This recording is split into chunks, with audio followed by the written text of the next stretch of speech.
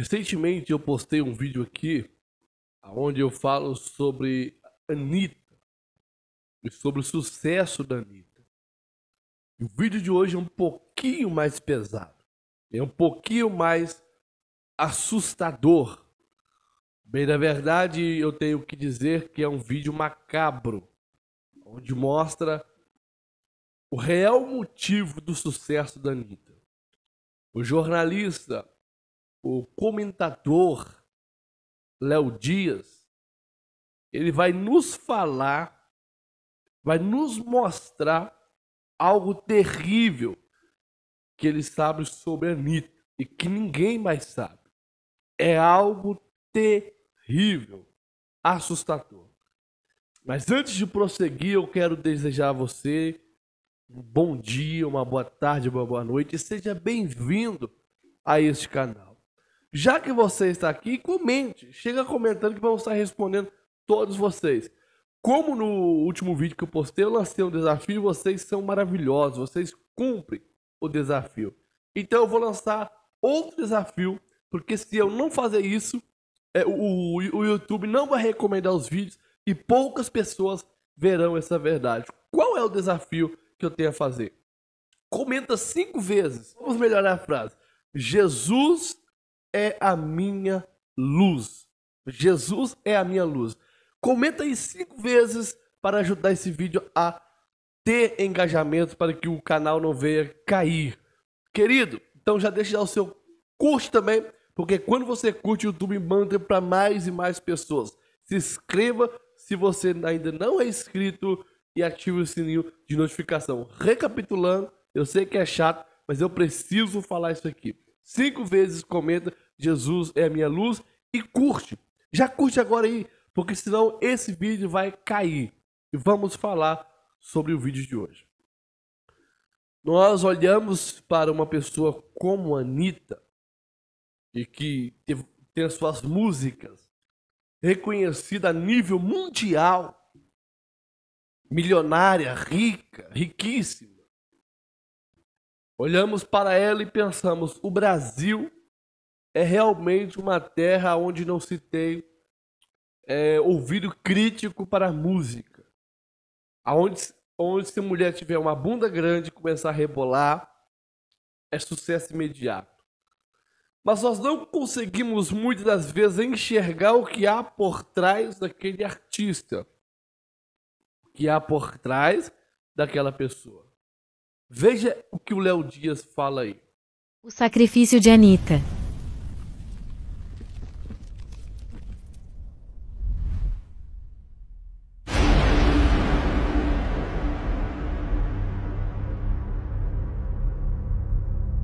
Gente, gente, é só um recadinho aqui para dizer para todos esses fãs idiotas da Anitta que me atacaram a noite inteira que a verdade apareceu que ela falou a verdade, que a mãe dela foi sim pra Honório Gurgel. E para vocês calarem essa boca, tá? Eu tô muito puto com essa história, muito puto. E eu tive que falar assim com ela. Infelizmente, eu tive que voltar a falar com ela. Infelizmente. E botar uma realidade na cabeça dela. Tratar uma realidade muito clara na cabeça dela. Se ela não falasse a verdade, eu falaria outras verdades dela. E aí ela baixou a bola e falou a verdade. É isso. Agora, agora vocês fãs da Anitta, continuem acreditando nesse personagem, amor. É melhor pra vida de vocês. É melhor pra vida de vocês acreditarem nesse personagem. Porque o personagem que eu descobri não é nada agradável, tá? Eu não vou falar mais da Anitta. Eu nunca mais vou falar da Anitta. Eu quero ó, desejar sorte, sucesso e, e muito caminho nessa religião dela, nessa fé dela. E que ela comece, comece a praticar a fé dela para o bem. Isso que é mais importante, tá? Beijos a todos. A última coisa, última coisa que eu quero ressaltar é o seguinte: é o meu respeito máximo, meu respeito profundo. E todo mundo que, que é dessa religião sabe que eu respeito.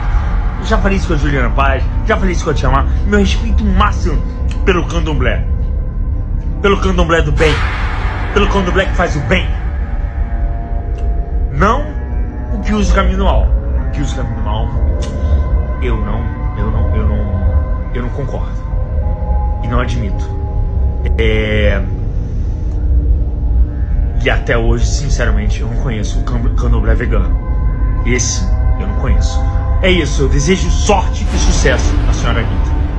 Mas sinceramente, eu quero, Anitta, cada vez mais longe de mim.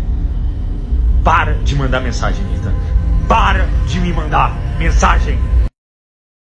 Pois bem, você viu que nessa foto está Rodrigo Faro e também está outros artistas e ele fala da Anitta.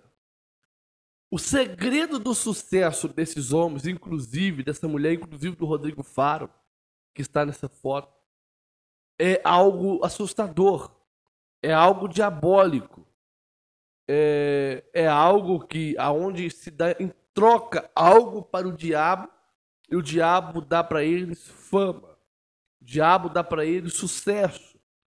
Por que você acha que o Rodrigo Faro é um cara milionário? Por puro talento? Por que você acha que a Anitta é reconhecida mundialmente? É pelo talento? Ou pela dança? Ou por algo espiritual macabro, macabro atrás disso? Quando você vê o Léo Dias aí ameaçando e contar coisas terríveis sobre ela, quem é do mundo espiritual entende o que ele está falando. Quem é do mundo, quem conhece o mundo espiritual, quem teme a Deus, lê a Bíblia, sabe do que ele está falando. Insinua-se sobre sacrifícios, de usar o candomblé para o mal, para ter sucesso em prol do mal. Que mal é esse que o Léo Dias está insinuando? Que mal é esse que o Léo Dias está falando? Hein? O que que a Anitta pode, possa ter feito para ganhar fama e sucesso? O que ela ofereceu ao diabo para ganhar fama e sucesso. Se fala em sacrifício, eu não posso aqui afirmar isso. Mas o que o Léo Dias tem muita coisa para contar, isso ele tem. Talvez não conte por medo de represárias. Talvez não conte por medo de algo pior acontecer. Mas você se você é, é, ouviu um testemunho de um pastor que morreu há tempos atrás daí, onde ele fala que muitos artistas, atores, para ter sucesso oferecia sacrifício de crianças. Eu tô falando que a Anitta fez isso? Estou afirmando? Não. Estou falando que uma pessoa que, segundo ele, foi ex-bruxo, deu o testemunho dizendo que artistas, atores globais faziam sacrifício em prol da fama, do sucesso e, consequentemente, do dinheiro. Então, você que é fã da Anitta, você que morre pela Anitta, porque quando se fala de Anitta, é, fala contra Anitta, a pessoa é invejosa, a pessoa é não tem amor próprio, é recalcado, é isso e aquilo.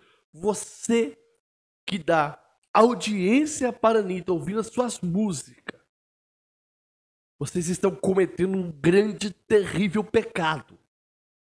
Um grande e ter terrível erro. Porque só Deus sabe o que essa mulher tem feito para alcançar a fama. Só Deus sabe o que essa mulher tem feito para alcançar a fama. Essa mulher, ela oferece o seu próprio corpo em culto ao demônio. Porque quando você vê ela rebolando semi-nua em seus clipes, suas músicas, ela está oferecendo seu corpo em culto, em sacrifício a entidades diabólicas. Porque se você não sabe, existe entidades que recebem orgias. Existem entidades que faz isso com a pessoa. Porque o que Deus condena é a exposição do corpo. Deus condena a sensualidade. O diabo quer fazer o quê? Ao contrário. Na antiguidade existia templos para esse tipo de safadeza. Existia templos onde os deuses recebiam culto de sexo. As pessoas iam ali para praticar deliberadamente para oferecer a um Deus específico. Aí você que é fã, seguidor da Anitta, acha isso lindo, maravilhoso e vai repetir o mesmo ato, as mesmas dancinhas que ela faz. Você está perdendo a sua salvação. Você está perdendo a sua vida. Porque salvação você não tem ainda. Porque se você tivesse salvação, você não faria isso. Mas assim como o fim da Anitta é o lago de fogo de enxofre, se ela não se arrepender das que faz as dancinhas que ela faz, o destino será o mesmo. Será o mesmo. Porque o que essa mulher tem feito para alcançar o sucesso é diabólico, é tenebroso, é simplesmente assustador. Esse é o vídeo de hoje.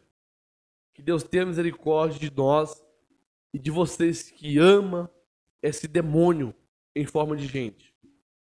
Deus tenha misericórdia de todos nós. Deus abençoe você, a sua casa e veja os próximos vídeos que aparecerão por aqui. Até uma próxima.